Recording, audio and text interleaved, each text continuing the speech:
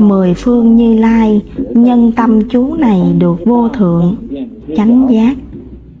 Thần chú này sinh ra tất cả chư Phật ở trong mười phương. Tất cả chư Phật đều từ thần chú này sinh ra, nên có thể nói rằng thần chú này là mẹ của tất cả chư Phật. Thập phương như lai tất cả như lai trong mười phương. Nhân tâm chú này, nhân hay còn gọi là nhờ? Tất cả chư Phật. Nhờ vào thần chú này mà đạt được vô thượng chánh biến tri giác, không gì cao quý bằng. Tại sao gọi là chánh biến tri giác? Tâm sinh vạn pháp, gọi là chánh tri vạn pháp do tâm gọi là biến tri. Vạn pháp do tâm sinh ra và tâm sinh ra vạn pháp. Cho nên được gọi là chánh biến tri giác. Thập phương như lai giữ tâm chú này uống dẹp các ma, chế phục ngoại đạo. Chú lăng nghiêm này như tướng nhục kế trên đỉnh đầu đức phật phát ra trăm luồng quang minh báu trong quang minh báu hiện ra hoa sen báu ngàn cánh. Trong hoa sen báu có hóa thân một vị phật, thần chú lăng nghiêm.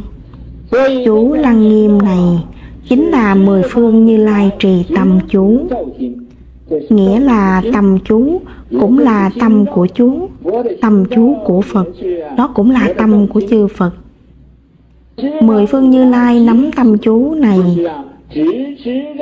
Tức là dùng thần chú này trấn áp các ma, chế phục ngoại đạo.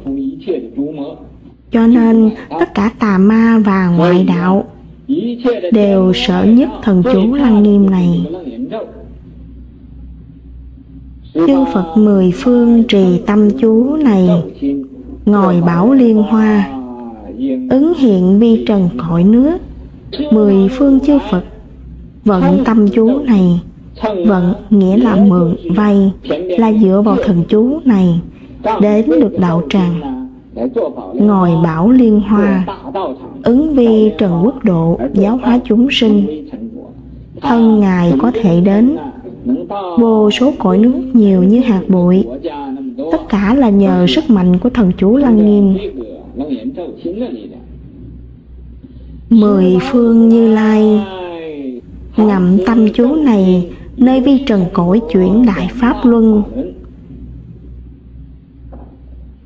Như lai trong mười phương dùng thần chú này đi khắp cõi nước để chuyển đại pháp luân, giáo hóa chúng sinh, tất cả nhờ thần chú này thập phương như lai trì tâm chú này, có thể nơi mười phương xoa đảnh thọ kiến. Tự mình quả vị chưa thành, cũng có thể nhờ nơi mười phương chư phật thọ kiến.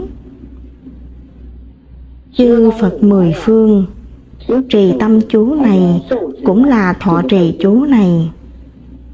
Có thể xoa đầu thọ ký cho chúng sinh trong mười phương tự mình quả vị chưa thành, chánh quả của mình chưa đạt thì cũng có thể. Nhờ nơi mười phương chư Phật thọ ký, nếu các ông chưa thành quả vị, chư Phật mười phương sẽ đến xoa đầu, thọ ký thành Phật. Mười phương như lai, nương tâm chú này ở nơi mười phương, cứu vớt các khổ địa ngục, ngạ quỷ, súc sinh. Đùi, điếc câm ngọng, các khổ oán tắng hội, ái biệt ly, cầu bất đắc, ngụ ấm xí thạnh. Những nạn lớn nhỏ, đồng được giải thoát. Nạn giặc, nạn binh, nạn vua, nạn ngục, nạn gió, lửa, nước.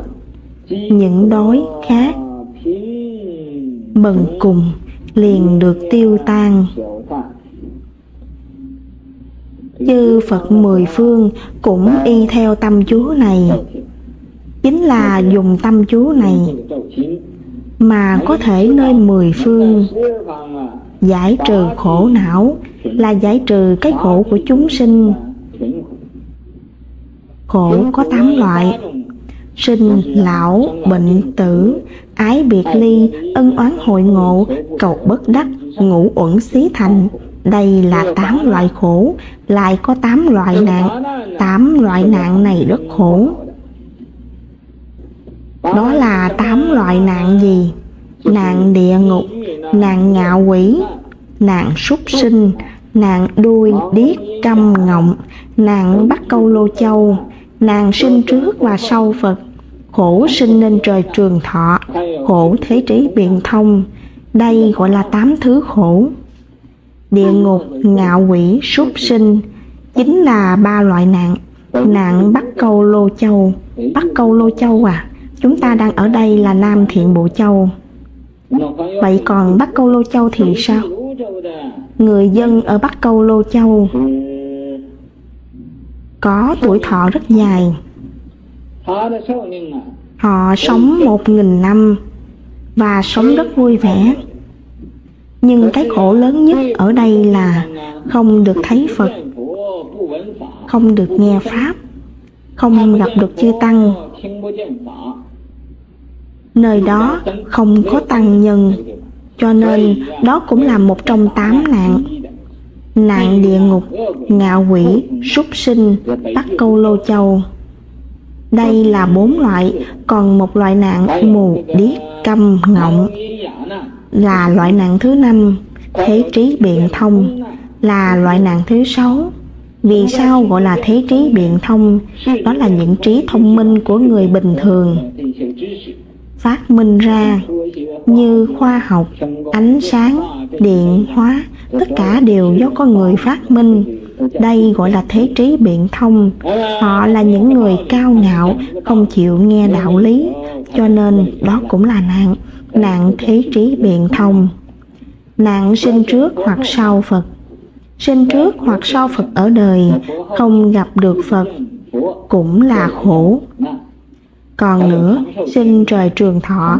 Ở cõi trời đó, tuổi thọ người rất cao, nhưng ở đó không được thấy phật không nghe được pháp, không gặp được tăng. Không có tam bảo, cho nên cũng là nạn trong tám nạn. Tiếp đến là nạn oán tắng hồi khổ. Quý vị không ưa ai đó, không muốn ở gần người đó, quý vị tránh đi nơi khác. Nhưng rồi vẫn gặp, người ghét như vậy, ái biệt ly khổ. Quý vị rất quý ai đó, nhưng vì hoàn cảnh nên không thể ở cạnh thường phải chia ly. Vậy nên sự chia ly là khổ. Cầu bất đắc khổ. Những điều mong muốn đều không được như ý toại lòng. Tâm sinh ra thất vọng, khổ, não. Ngủ ấm xí thịnh. Ngủ ấm là gì? Chính là sắc, thọ, tưởng, hành, thức. Năm uẩn hừng thịnh như lửa cháy cũng là một loại khổ những họa lớn nhỏ. họa có họa lớn họa nhỏ và có rất nhiều họa sự. Tại sao gọi là họa? Họa là không đáng chết mà lại chết. Ví dụ như bị xe tông chết bị nhà sập đổ cây đổ đè chết. hoặc có rất nhiều loại sự cố bất ngờ xảy ra ngoài ý muốn. nên gọi là họa. Đồng được giải thoát tất cả đồng thời đều tiêu trừ. Còn có nặng tặc. Nặng tặc cũng giải thoát. Rồi nạn binh cũng tiêu trừ. Nạn vương, phạm pháp là vương nạn, cũng được trừ cả. Nạn ngục bị tù tội cũng được giải thoát. Phong, hỏa, thủy nạn, cho đến đối khác bần cùng, theo niệm tiêu tan. Nếu quý vị kiên trì tụng thần chú lăng nghiêm tất cả những kiếp nạn đều hóa không. Om ha ha ha,